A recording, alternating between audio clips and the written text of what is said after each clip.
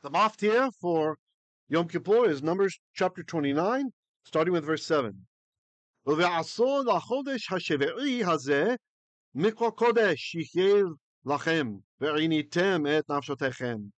Now on the tenth of, of the of the seventh of this seventh month shall be a holy convocation. It shall be for you all. So you shall uh, afflict your life force. That's why you must avoid water as well, not just eating. Kol melacha lo ta'asu. Any kind of work shall not be done. Verse 8.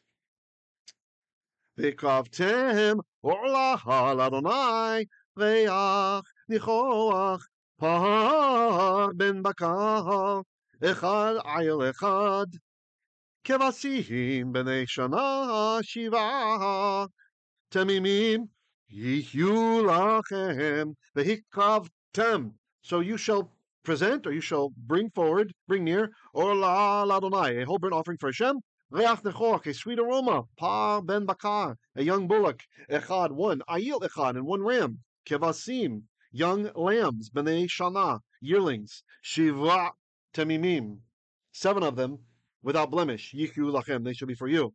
Maftir, part two. Omin chatam, Solet Belulav Hashamen, and their grain offering shall be semolina mixed in the oil.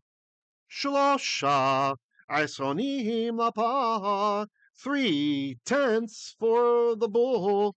Shenehe la La'il Ha'echad, two tenths for the ram, the one. Verse 10.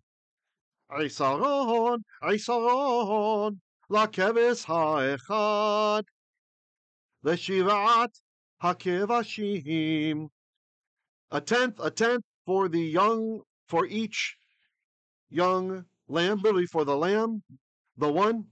Leshivat hakivashim for the seven lambs. Verse 11. Chatat.